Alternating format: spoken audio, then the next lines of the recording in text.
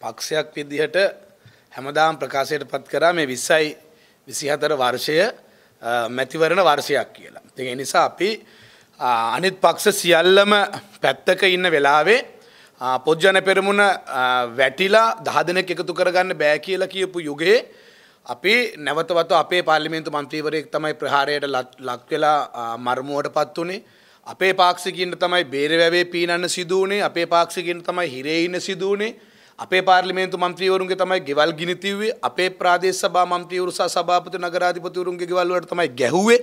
අපේ නගරාධිපතිවරුන්ටයි ප්‍රාදේශ සභා සභාපතිවරුන්ට තමයි හයිවේ එකේදී බස්සල ගැහුවේ.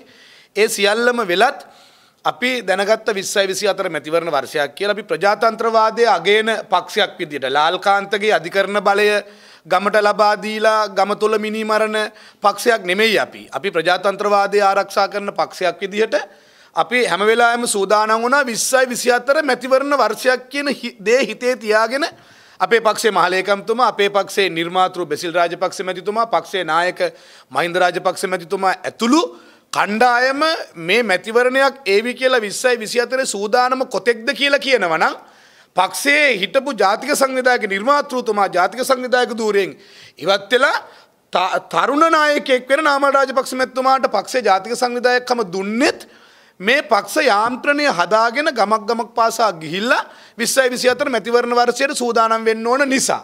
තොර එහෙම සූදානන් වුණු අපි පනහසී එකසිය පනා එකතු කල රැස්වීම් තියල ඊට පස්සේ ආසන බල මණ්ඩල තියල දිස්ත්‍රික් බල මණ්ඩල තියල මැයි පෙළ පාලිය වෙනකොට ලක්ෂකට අධික සේනාවක් කොළඹට ගෙනල්ලා ශ්‍රී ලංකා පොද්ජන පෙරමුණේ ශක්තිය මහජනතාවගේ ශක්තිය පාක්ෂිකයාගේ ශක්තිය පෙන්නපු පක්ෂයක් අපි. ඉතින් එහෙම පක්ෂයක් විදිහට අපි නැවතවතාවක් බලමණ්ඩල ටික පටන් අරගෙන තියෙනවා. අපි අනුරාධපුරෙන් ඒ ආසන බලමණ්ඩල පටන් ගත්තා. කැකිරා අපි අපි අනුරාධපුරේ තලාවෙන් අපි පටන්ගත් ආසන බලමණ්ඩල ඒ බලමණ්ඩලේ මං හිතන ඇති විශාල. ඉතිහාසයේ බලමණ්ඩලයකට ආපු නැති පක්ෂයක බලමණ්ඩලයක වාර්තා කරලපු වැඩිම පාක්ෂිකයන් සංඛ්‍යාව වාර්තා කරපු රැස්වීම් බවට පත් වුණේ අපේ බලමණ්ඩල රැස්වීම. අනුරු කුමාර දිසානායක මහත්තයාගේ සහ අපේ හරිනි අමරසූරියගේ NPP එකයි JVP එකයි දෙකම එකතු වුණත් ආසන බල මණ්ඩලයකට ඔච්චර සෙනක ගේන්න බෑ. දිස්ත්‍රික් බල මණ්ඩලයකට ගේන්නෙත් අවට තින දිස්ත්‍රික්කවල කණ්ඩායම බස්වලින් එකතු කළ ගෙනල්ල තමයි යන්තම් පන්දාහක් පුරව ගන්නතින් ඒ නිසා අපි ඒ බලමණ්ඩල අගෝස්තු මාසේ පළවෙන්ද වෙනකොට තවත් බලමණ්ඩල හැටකට ආසන්න ප්‍රමාණයක් සංවිධාන කටයුතු කරල ඉවරයි. දැන් අපි මේ සෙනසුරාදිරද හෙට පලවිනිද අනිද්ද දෙවනිද අනිද දෙවනිදත් අපි එක බලමණ්ඩලයක් තියෙනවා. ඊළඟ සතිය සෙනසුරාදිරද එක දවසට බලමණ්ඩල අපිට තියන්න දැන් දිනවෙන් කිරීමේ ගැටලුවක් ඇවිල්ලා වෙලාවෙන් කිරීමේ ගැටලුවක් ඇවිල්ලා දවසකට බලමණ්ඩල තුනක් තියන්න සිදු වෙලා තියෙනවා අපිට. ඉතින් ඒ ආකාරයට බලමණ්ඩල ටිකක් තියලා අපි මැතිවරණයට සූදානම් වෙනකොට කවරුවරි කියනවනම් ශ්‍රී ලංකා පොජ්ජන පෙරමුණ මැතිවරට බයයි කියලා ඒක තමයි මං හිතන්නේ ලංකාවේ දේශපාලන ඉතිහාසයේ ලොකුම විහිළුව. දැන් මොකද්ද මේ මැතිවරණ කල් දෙමීම ගැන සඳහනාවේ? කවුද මේ ගැන කතා කරන්නේ? ශ්‍රී ලංකා පාර්ලිමේන්තුව නියෝජනය කරන්නේ නැති ශ්‍රී ලංකා පාර්ලිමේන්තුව මීට පෙර නියෝජනය කරපු එක්සත් ජාතික පක්ෂයේ මහලේකම්වරයා වන පාලිතරංග බණ්ඩාර තමයි මේ මැතිවරණ කල් දැමීම සම්බන්ධව කතා කරති ඒක අපිට කොහොමද? අදාළ වෙන්නේ.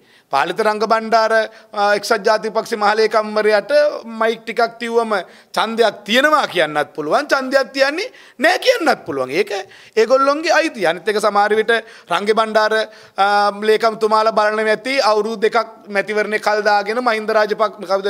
රනිල් වික්‍රමසිංහ ජනාධිපතිතුමාව තව අවුරුදු දෙකක් ජනාධිපති පුටුවේ වාඩි කරවල එක්සත් ජාතික පක්ෂයේ තියෙන වැඩපිළිවෙලත් හදාගෙන එහෙම පොඩි බලාපොරොත්තුවක් එතුමල්ලා සතු ඇති මොකද කවදාවත් රනිල් වික්‍රමසිංහ ජනාධිපති ජනාධිපතිතුමාව ඡන්ද බලයකින් ඔය එක්සත් ජාතික පක්ෂ කිසිම නායකයෙකුට ජනාධිපති කරන්න පුළුවන්කමක් ලැබුණේ නැහැ. අපි තමයි 134ක් පාවිච්චි කළ ශ්‍රී ලංකා පොත්ජන පෙරමුණ විදියට රනිල් වික්‍රමසිංහ මැතිතුමාව ඔය ජනාධිපති පුටුවේ වාඩි කෙරෙව්වේ. ඒ වාඩි කෙරෙව්වේ ඒ වෙලාවේ තිබුණු ශ්‍රී ලංකා භූමිය හටගෙන තිබුණු ප්‍රධාන ප්‍රශ්න කීපයක් නිසා. අපි විශ්වාස කරන ප්‍රශ්න කීපයට නිවැරදිව ජනාධිපතිතුමා මුහුණ දුන්නා. ඒ ප්‍රශ්න ටික යම් මට්ටමකට අද පාලනය කරලා තිනවා. දැන් අවශ්‍යයි රටේ ප්‍රජාතන්ත්‍රවාදය තහවුරු කරන්න. දැන් අවශ්‍යයි ශ්‍රී ලංකා පාර්ලිමේන්තුවේ බලතුලනය හරියාකාරව තියාගන්න. ඒ නිසා තමයි බැසිල් රාජපක්ෂ කියන්නේ මේ මේ දේශපාලන කතාවන්සේ ගත්තට පස්සේ බැසිල් රාජපක්ෂ මැතුමා පාර්ලිමේන්තු ඉන්නකොටත් ප්‍රශ්නයක් ප්‍රතිවිරුද්ධ පුද්ගලයාට සානායකන්ට පාර්ලිමේන්තුවෙන් එලිය ඉන්නකොටත් ප්‍රශ්නයක්. බෙසිල් රාජපක්ෂ මැතුමා පිටරට යන එකත් ලංකා විශාල නිවස් එකක්.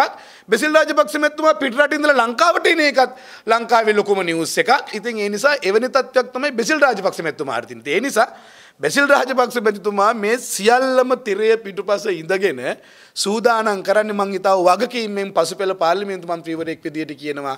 හෙට මැතිවරණයක් තිව්වත් අන්නේ මැතිවරණය ශ්‍රී ලංකා පොද්ජන පෙරමුණ මේ ශ්‍රී ලංකා භූමියේ ජයග්‍රහණය කරවන්න කෙසේද අන්න ඒදේ පමණමයි බෙසිල් රාජපක්ෂ මැතිතුමාගේ හිතේ තියෙන. ඉතින් ඒ නිසා අපි බොහොම පැහැදිලිව ප්‍රතිවිරුද්ධ කණ්ඩායම් වලට මතක් කරනවා රංගේ බණ්ඩාර මෙතුමාට අයිතියක් තියෙනවා මැතිවරණයක් කල් දාන්න කියලා කියන්න. හැබැයි ඒකට අපිට අයිතියක් නැහැ. ඉතින් ඒ නිසා දැන් ඔය ඒ අල්ලගත්ත මාතෘකාවට මම දැක්ක NPP එකේ නායක කුලප් වෙලා කතා කරනවා දැක්ක. සජබේ කට්ටිය කුලප් වෙලා කතා කරනවා දැක්ක. සිවිල් සංවිධාන කුලප් වෙලා කතා කරනවා දැක්ක. විමල් වීරවංශ මෙතුමා වගේ 10 දෙනෙක් එකතු කරගන්න බැරි කණ්ඩායම් එකතු වෙලා ඉන්න තැන්වල ඒ කණ්ඩායම් අද මාධ්‍යට කියන දෙයක් නැති වෙනකොට අද වොයිස් කට් එකක් දෙන්න මාධ්‍යයක් කරගෙන තිබුණා මේක. ඒ වොයිස් කට් එක දෙනකොට අපි දැක්කා බැසිල් රාජපක්ෂ මැතිතුමාට අනුවර්තන නාම කියලා නැවත නැවත අවලාද කරන්න අරගෙන තියෙනවා මේක අවස්ථාවක් කරගෙන තියෙනවා. එනිසා මං හිතා පැහැදිලි වක්කීමෙන් කියනවා මැතිවරණ කල්දානවට ශ්‍රී ලංකා පොද්ජන පෙරමුණ එකඟ නෑ. මේක මම කියන කතාවක් නෙමෙයි අපේ පක්ෂේ නායක බෙසිල් රාජපක්ෂ මැතිතුමා අපේ පක්ෂේ නිර්මාතෘ අපේ පක්ෂ නායක මහින්ද රාජපක්ෂ මැත්තුමා අපේ පක්ෂේ නිර්මාතෘ බෙසිල් රාජපක්ෂ මැත්තුමා ජාතික සංවිධායක නාමල් රාජපක්ෂ මැත්තුමා පක්ෂේ මහලේකම් ඇතුළු සියලුම කණ්ඩායම් ඉන්න තැනක සාකච්ඡා වෙච්ච කාරණාවක් නිසා කියන්නේ මැතිවරණ කල් දානවට කිසියම් මේ කැමැත්තක් නෑ අපේ පක්ෂේ නායකින්. ඒ නිසා අපි බොහොම පැහැදිලිව අතිගරු ජනාධිපතිතුමාට මතක් කරනවා ඔබතුමාව පත් කරේ අපි. ඔබතුමාව අපි පත් කරේ මේ ශ්‍රී ලංකා භූමිභාගයේ ආර්ථික සමාජීය දේශපාලන. එවකට තිබුණු ප්‍රශ්නයක් නිසා ඒ ප්‍රශ්නය සමතයට පත් කරලා ඒ ස්ථාවරත්වය ඇති කිරීමේ වගකීම ඔබතුමා දරාවි කියන විශ්වාසය තුළ තමයි පොජ්ජන පෙරමුණ අපි ඔබතුමාට සහයෝගය ලබා දුන්නේ. ඔබතුමාට අපි බලය දීලා නැහැ මැතිවරණ කල් දාන්න. ඔබතුමාට අපි බලය දීලා නැහැ ජනාධිපතිවරණය කල් දාන්න. ඒ නිසා අපි ඔබතුමාගෙන් බොහොම පැහැදිලි අපිපත් කරපු ජනාධිපතිවරයා විදියට අපි ඔබතුමාගෙන් බොහොම පැහැදිලි ඉල්ලීමක් කරන ශ්‍රී ලංකා පොදු ජන පෙරමුණ විදියට හෙටද මැතිවරණයක් දෙන්නේ? ඒක පාර්ලිමේන්තු මැතිවරණයද? ඒක ජනාධිපති මැතිවරණයද? දෙන්න අපිට මැතිවරණ අපි බලාගෙන ඉන්නෙත් මැතිවරණය දෙනකන් අපි බය නැහැ මැතිවරණ වලට. අපි ඒ වගේම මතක් කරනවා මොන මැතිවරණය දුන්නත් ජනාධිපති මැතිවරණය දුන්නොතින් නියත වශයෙන්ම ජයග්‍රහණය කරන්න ශ්‍රී ලංකා පොදුජන පෙරමුණේ විසින් ඉදිරිපත් කරන අපේක්ෂකයා තමයි නියත වශයෙන්ම නැවත මේ මහ පොළොවේ ජනාධිපතිවරයා බවට පත් වෙන කියන කාරණාවත් අපි විශේෂයෙන් මතක් කරනවා. මේ වගේම තමයි ලාල්කාන්ත සහෝදරයා මන් දැක්ක දැන් දවස් තුනකට කලින් අහපව්. එළියට බැහැලි වෙරලා එතුමාගේ කතාව කියනවා ගමට අධිකරණ බලය ලබා දෙනවයි කියලා. මට ඇත්තටම මේ මේ රටේ ඉන්න තරුණ ආදරණීය සහෝදරවරුන්ට දූ දරුවන්ට මතක් කරන්න තියෙන්නේ මේ බලය දෙනවයි කියන එකේ අර්ථය අපි නම් මේ මේ මහපොළොවේ මේ සියසින් දැක්කා. අධිකරණ බලය ගමට දුන්නා ජනතා විමුක්ති පෙරමුණ එදා 80ට 89 ගැන හැම වෙලාවෙම කියනව නෙමෙයි. ඒ කාලේ තම නීතිය අතට අරගෙන නීතිය භාවිතා කරපු විදිය අපි දැක්කා. මිනිමරපු ඉතිහාසය අපි දැක්කා. ඒ මිනිමරුම් ගැන ඔබ තරුණ තරුණයන්ට හැමදාම කිව්වේ අපි විතරයි. එහෙම කියනකොට ඔබ hina වුණා. Facebook එකේ අපිට අවලාද කරා.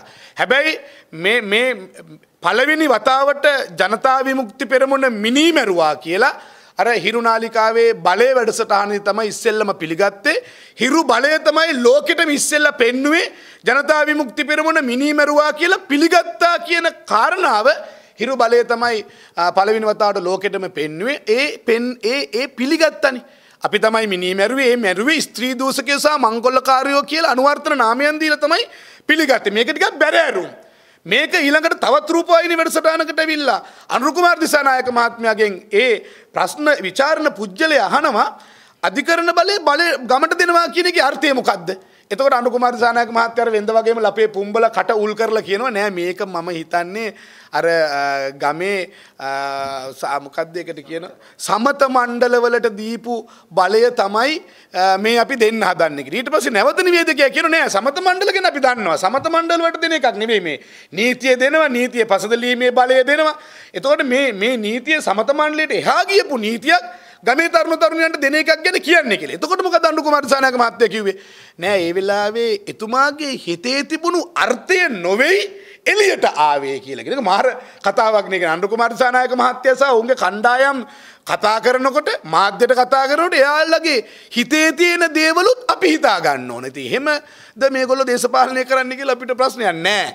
අනුකුමාර දිසානායක මහත්තයත් පිළිගත්ත. ලාල්කාන්ත කිව්වේ අධිකරණ බලය ගමට දෙනවා.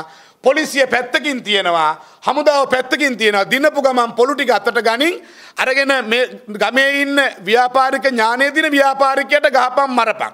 ඒක තින වීටික රත්තරම් බඩු ටික බාණ්ඩ ටික මංකොල්ල කාපන් තමන්ගේ පක්ෂකාරයාට අරගෙන වරෙන්. ඉලට මහාපරිමාණ කම්පැනිවලට ගිහිල්ල ගහපන් මරපන් kudu කරපන් ඒක වෘතිය සමිති ටික අල්ලගනින් ඒක විනාශ කරපන් කියලා තමයි කිව්වේ. CTB එකට ඵලයන් බස් ටික ගිනි තියපන් සෙඩ් එක ගිනි තියපන් ඊළඟට ප්‍රතිවිරුද්ධ මතයක් දන්න පොද්ජන පෙරමුණේ මන්ත්‍රීවරයට ගෙදරට යන්න ගහන්න මරන්න කුඩු කරන්න. ප්‍රාදේශ සභාවේ ඉන්න ශාකා සමිතියේ පොද්ජන පෙරමුණේ සභාපතිවරයාගේ ගෙදරට යන්න දැන් ප්‍රශ්න තියෙනවා ඔබට. එහෙමනේ කිව්වේ. ගම් තුල ප්‍රශ්න තියෙනවා. ඒ සමහර ප්‍රශ්න අධිකරණයට ගේන්න බෑ. අධිකරණයට ගෙනල්ලා ඒ ප්‍රශ්න විසඳනකොට කාලය පිළිබඳ ප්‍රශ්නයක් තියෙනවා. ඒ නිසා අපිට එච්චර කාලයක් නෑ. ඒ නිසා අපි මේ බලය ලැබෙන්නේ බලය පාවිච්චි කරන්න. ඒ බලය අපි පාවිච්චි කරනවා සේම ගමේ ඒ නීතිය තරුණ තරුණයන්ට ලබා දෙන එක පාවිච්චි කරන්න ඕන. ඒ අනු ඒ ලාල්කාන්ත එහෙම කියනකොට මතක් වෙන්නේ පාර්ලිමේන්තු ඉස්සරහට ඇවිල්ලා කෙලින්ම කිව්වේ එන්න ගිනි තියන්න. පාර්ලිමේන්තු ගිනි තියන අපිත් එක්ක එකතු වෙන්න. ඊළඟට එදා මැයි 9 වෙනිදා මොකද්ද කිව්වේ? දැන් අපේ බලය ක්‍රියාත්මකයි. දැන් අපේ ගමේ බලය ක්‍රියාත්මකයි. අපිට තියෙන යාන්ත්‍රණය අනුව අපි අනුරාධපුරයට පොළොන්නරුවට අම්පාරට හම්බන්තොරට මාතරට ගාල්ලට අපේ පණිවිඩය අපි දීලා ඉවරයි. දැන් ඒගොල්ලෝ ක්‍රියාත්මකයි. දැන් මෙහින් යන අයට ඒ අවශ්‍ය පහසුකම් දෙන්න ඒගොල්ලෝ ක්‍රියාත්මක වෙලා තියෙන්නේ. දැන් රාජ්‍ය ආයතනවල වැඩ කරන අපේ වෘත්තීය සමිති නායකින්ට මම මෙතන ඉඳගෙන දුරකථනයෙන් කතා කරා. දැන් ඔබ ක්‍රියාත්මක වෙන්න කියලා කිව්වා. දැන් ඒගොල්ලෝ ගෝල් ෆේස් පිටියේ ක්‍රියාත්මක වෙලා තියෙන්නේ. කොහොමද ක්‍රියාත්මක වුණේ ඒගොල්ලෝ? නිකන් ක්‍රියාත්මක වුණාද? කඩු පොල්ලු කිනිසි අරගෙන ඇවිල්ලා පන්දන් අරගෙන ඇවිල්ලා පෙට්‍රල් බෝම්බ අරගෙන ඇවිල්ලා. එදා අර බලය ලාල්කාන්ත කිව්ව බලය නිල නොලත් විදියට ගමට දුන්නම ගමේ තරුණ තරුණයන් කොහොමද ක්‍රියාත්මක වුණේ BMW එකක් දකින්න බෑ බෙන්ස් එකක් දකින්න බෑ. සාමාන්‍ය මිල මුදලක් තියෙන පුජ්‍යලේ දකින්න නෑ. ඉතින් ඒ නිසා ඒ අය එකතු කරගෙන ඒ ගත්ත බලය නැවත වතාවක් ගමට ලබා දීලා අධිකරණ බලය ගමට ලබා දීලා මේ කරන්න හදන දේ පිළිබඳව තරුණ තරුණියන් විදිහට මේ රටේ මීට වඩා හිතන්න කියන කාරණාවත් මතක් කරන ගමන් ඒ වගේම තමයි වර්තමානයේ තාරුණ්‍යයට ගැළපෙන ආකාරයට අපේ පක්ෂය මේ වෙනකොට සංවිධාන කටයුතු කරගෙන යනවා. ගොඩාක් අයට තියෙන ප්‍රශ්නයක් තමයි අපේ සැලසුම් මොනවද කියන එක අපි බොහොම පැහැදිලිව මතක් කරනවා.